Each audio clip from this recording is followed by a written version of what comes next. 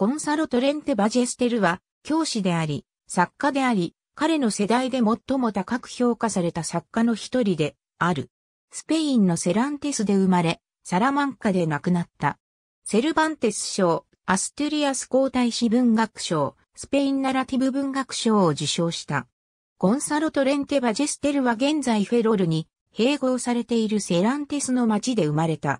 彼は、ヌエストラ・セニョーラ・デラ・メルセデス学校、現在のティルソ・デ・モリーナ・デ・フェロル学校に通った。彼は出席免除学生としてラ・コルーニャの高校で学んだ。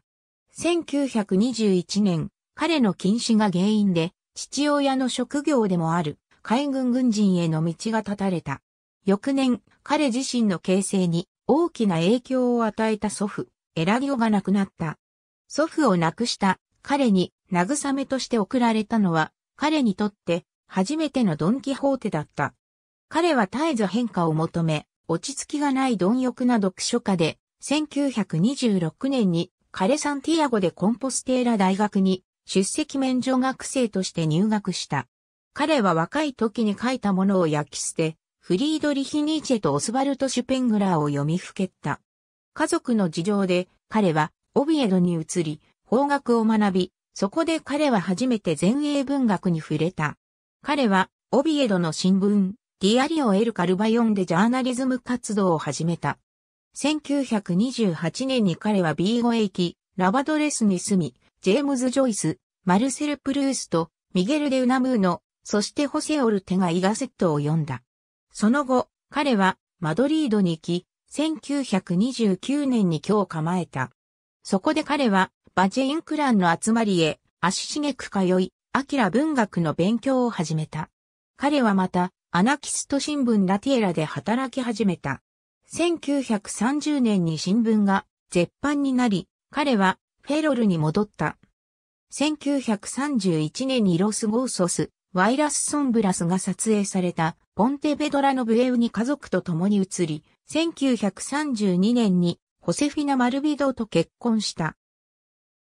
エドガー・アラン・ポー、シャルル・ボードレール、ステファヌ・マラルメを読み始めた。バレンシアに滞在した後、ホセフィナのズダのためにガリシアに戻った。1933年に彼はフェロルに今日定め、ラパリスアカデミーで働き、1日16時間文法、ラテン語、歴史を教えた。彼は再び出席免除制として、サンティアゴ大学の文学部に入学し、ガジェギスタ等に参加した。1935年にサンティアゴでコンポステラ、大学の歴史学部を卒業して、ガジェギスタ島の地方書記を務めた。1936年、彼はサンティアゴ大学の古代史専門の助教授の採用試験に合格した。1934年から1938年の間に最初の4人の子供が生まれた。2000年にサラマンカのカフェのベルティでトレンテ・バジェステルを記念した彫刻を発表。右から左に、ラのディレクター、ビクトル・ガルシア・デラ・コンチャ。未亡人作家、マリア・フェルナンダ・サンチェス、ギサン・デ・カマー、ガリシアの作家カルロス・カサーレス、彫刻家のフェルナンド・マヨラルです。1938年に彼は、ブルゴスで、エルビア・ヘデル・ホーベン・タビアスと、マルリガロ・リーオラゼンティブル・イエヌシエテ・コリック・イース、オヒエラルキーシュから出版した。1939年、バジェステールはサンティアゴ大学の助教授になった。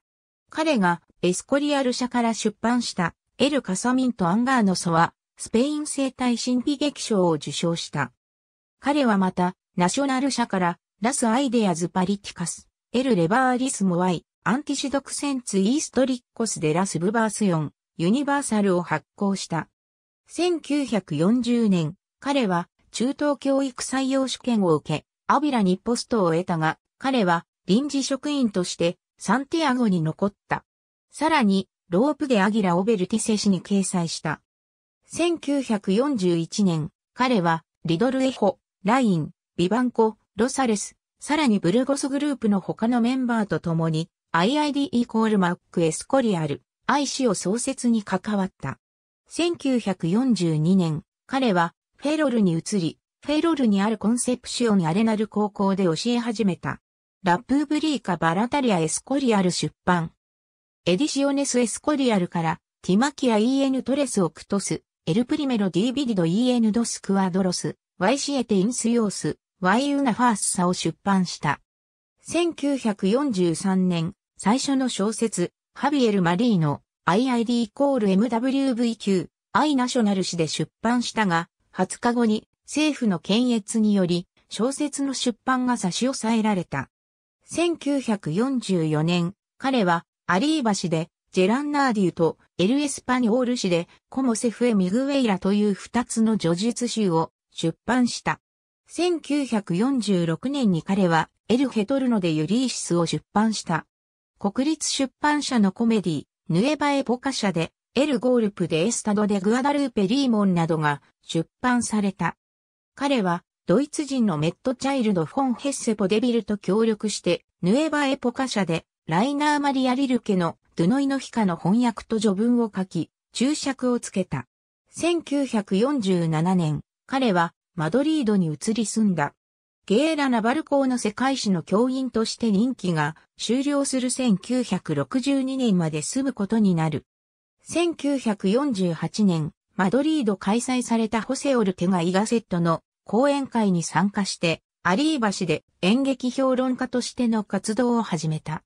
彼はアフロディシオ・アグアード社からコンポステラを出版した。1949年に彼はラジオナシオナル・デ・エスパーニャの演劇評論家として活動を始めた。彼はアフロディシオ・アグアード・アフロディツィオ、アグアド社から Literatura española contemporánea を出版した。彼はホセアントニオ・ニエーベスコンデによる映画 Llegada de noche と、同監督による El cerco del diablo に、脚本家として参加した。1950年、彼は、ラ・プリンセッサ・ターミンテバ、エーライスクエラを執筆したが、1983年まで出版社が見つからなかった。また、アフロディシオ・アグアード社で、インフィジェニーや、アスオス社から、アターリアサーでロンウッドを出版した。1951年、ホセアントニオ・ニエベス・コンデ監督の映画、セルコスト、1953年の同監督の映画作品 Rebeldía の脚本を書いた。1954年、彼は指導者で Farruquiño を出版した。1957年に彼は El señor llega と三部作 Los gozos y las sombras の第一巻 El señor llega をアリオン社から出版した。そして、 Teatro español contemporáneo をグアダラマ社から出版した。1958年1月に彼の妻ホセフィナ・マルビドが亡くなり、その後すぐの2月に彼の父親であるゴンサロ・トレンテ・ピニョンが亡くなった。1959年、彼は El señor llega・El señor llega でフンダシオン・ファン・マーチ、財団文学賞を受賞した。彼は三部作の続きを執筆するためマジョルカを旅し、 Los gozos y las sombras の二部作目の Donde da la vuelta el aire を書いた。1960年1月、彼はマリア・フェルナンダ・サンチェス・ギサンデ・カマニョと出会い、パリとドイツを旅した。彼はフェロルで最初のテープレコーダーを購入し、ずっと仕事中使用していた。5月に彼はフェルナンダと結婚した。彼は二部作目のドンデダラブエルタイルアイレをアリオン社で出版した。1961年、彼はグアダラマ社から Panorama de la literatura española contemporánea を出版した。同年、フェルナンダとの間で生まれた7人の子供のうちの1人目が誕生した。1962年、アストゥリアス鉱山労働者のストライキを擁護する声明書に署名した。そのため、 Guerra Naval 校の教員としての地位と、ラジオナショナルとアリバ紙の評論家としての仕事も失った。彼は三部作小説 Los gozos y las sombras の最後の部である、 La Pascua triste を出版した。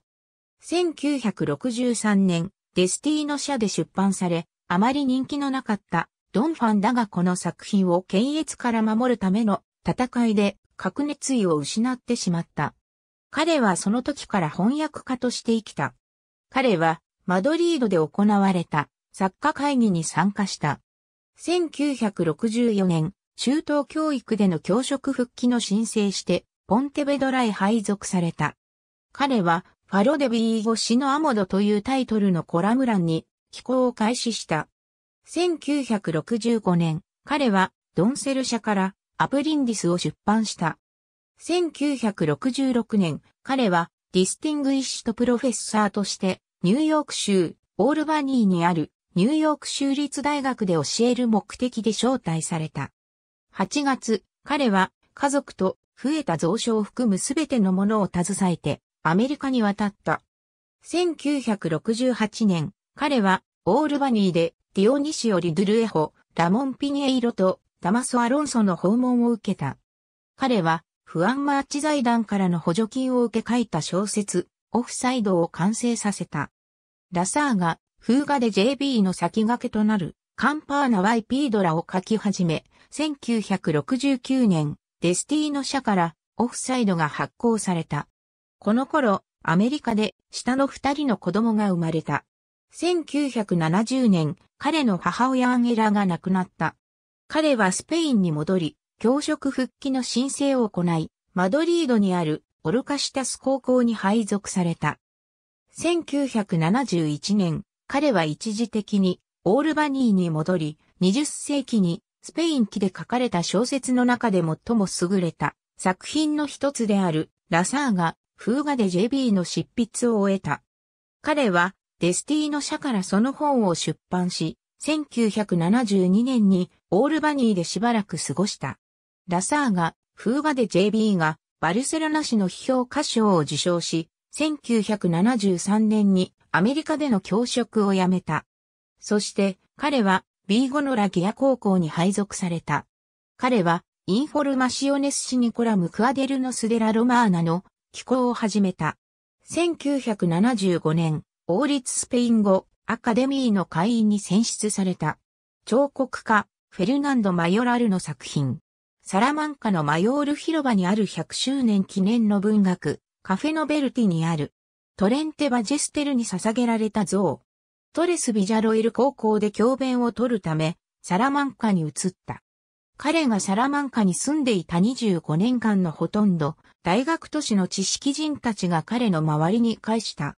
サラマンカのマヨール広場の100年の歴史がある文学カフェノベルティで彼を見るのはいつものことだった。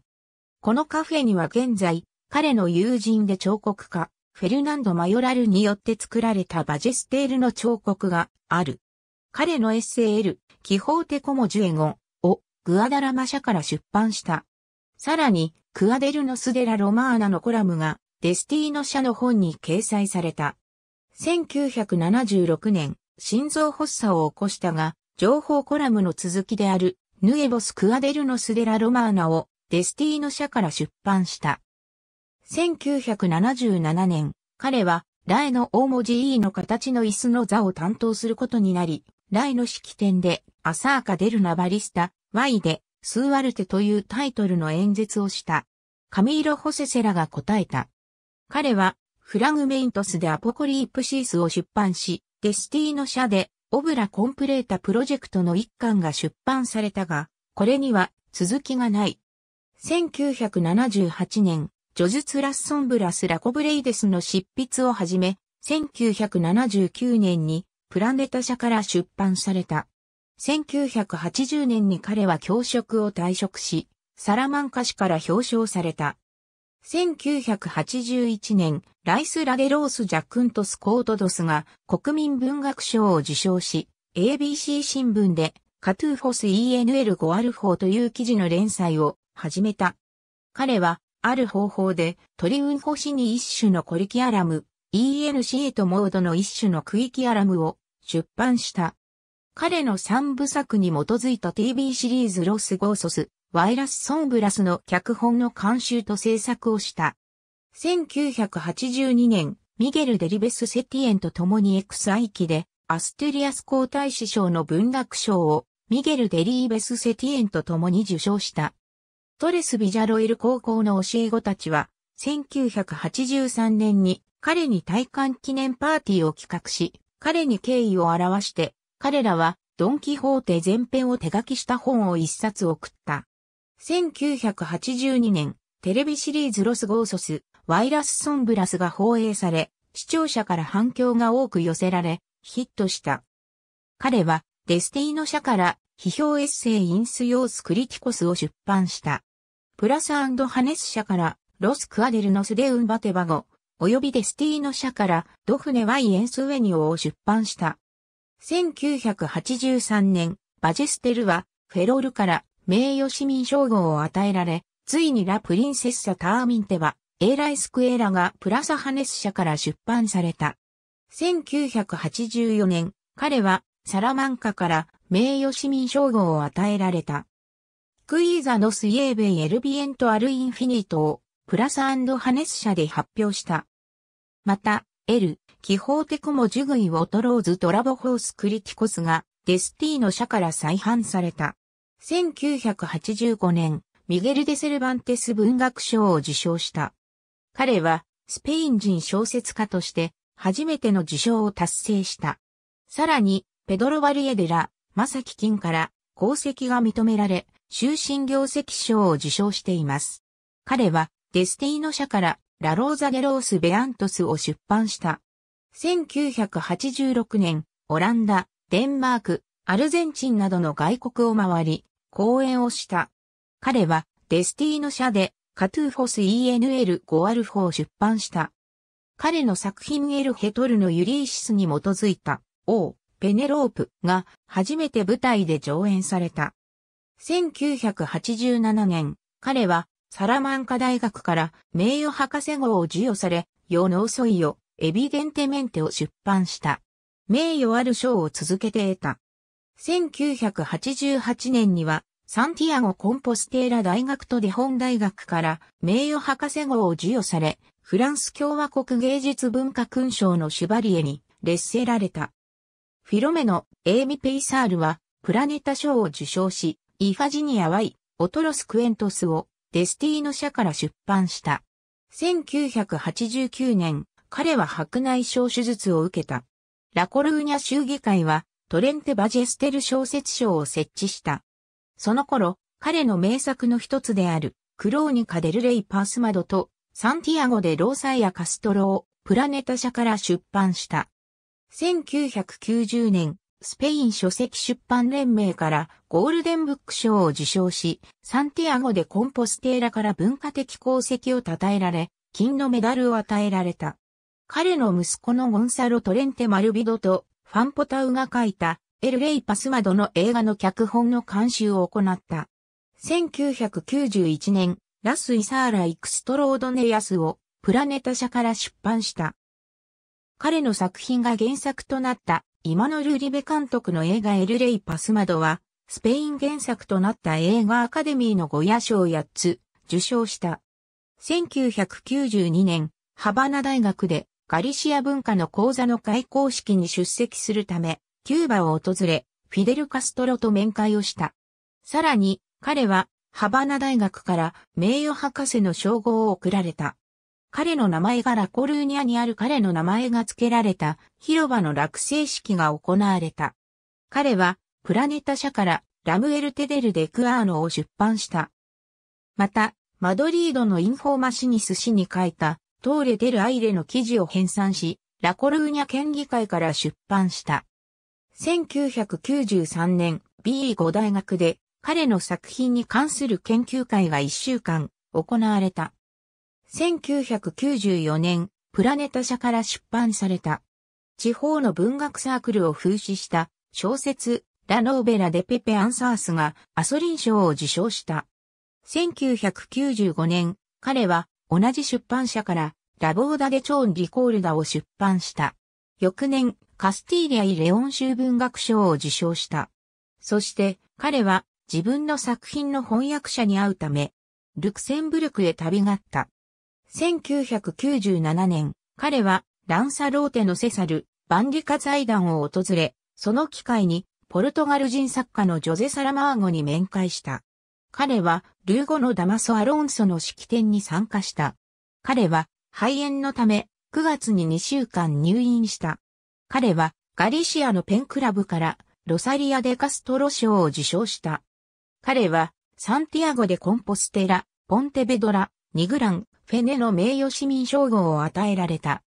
彼は、 A modo というタイトルで、ファロ・デ・ビーゴ新聞で連載された記事を、要約と編集をして、 Memoria de un inconformista をアリアンサ社から出版した。彼は、プラネタ社から Los años indecisos を出版した。1998年、彼は7月と9月に入院した。彼は、ポルトガル共和国芸術賞の最優秀賞である、サンティアゴ・でラエスパーダ騎士団に選ばれた。彼の作品の一部は、アリアンサ社の著者コレクションで再発行された。1999年1月27日にサラマンカで亡くなった。彼はセランテス墓地に埋葬され、式典ではカルロス・ヌニエスがバグパイプで奏でたネグラ・ソンブラの音が響いていた。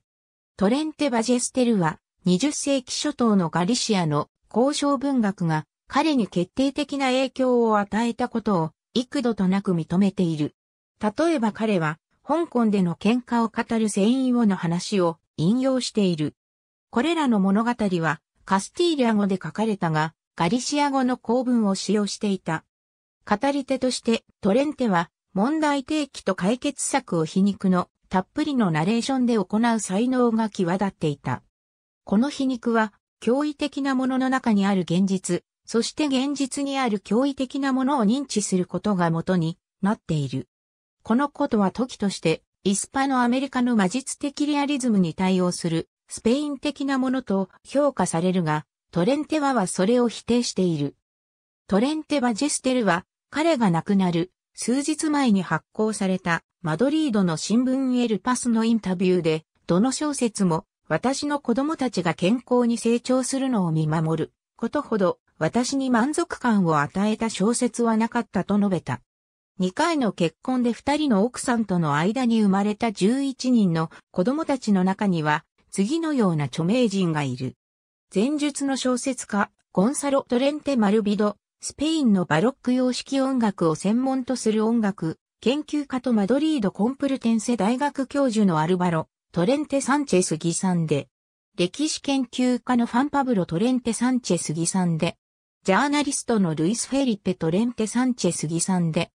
フィレンツェ大学の教授フランシスカ、アンヘラ・トレンテ・サンチェス・ギサンで、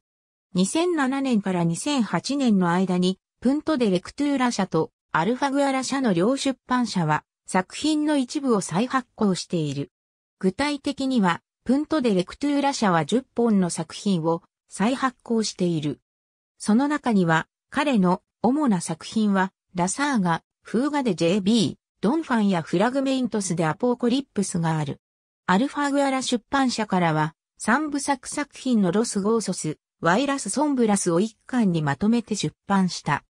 フェロルのゴンサロ・トレンテ・バジェステルの共造国立文化、コメモレーション協会とゴンサロ・トレンテ・バジェステル財団は、2010年に、下記の都市で作家の100周年を記念する巡回展を開催した。